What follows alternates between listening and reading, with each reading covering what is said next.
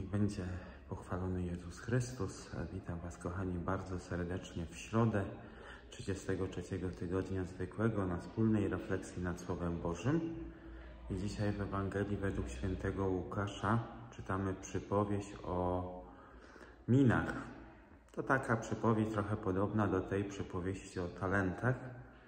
Jest Pan, który obdarowuje swoje sługi minami.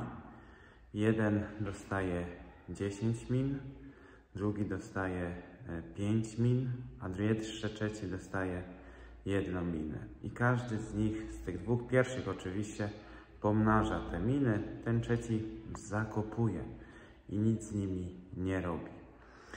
I trochę ta Ewangelia dzisiaj nam e, przypomina, że może być i w naszym życiu tak, że nic nie będziemy robili z darami, które od Pana Boga otrzymujemy, nic nie będziemy robili z łaskami, które od Pana Boga otrzymujemy.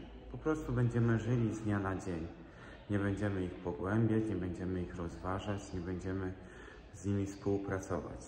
A Jezus dzisiaj właśnie chce nam poprzez tę Ewangelię przypomnieć, że nie możemy tylko czekać na Królestwo Niebieskie, na moje zbawienie, ale musimy współpracować z łaską Pana Boga.